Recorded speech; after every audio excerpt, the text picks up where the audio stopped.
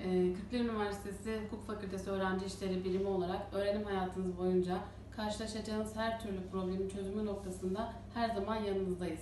2023-2024 eğitim öğretim yılında fakültemizi tercih etmeyi düşünen adaylarımıza teşekkür ediyoruz.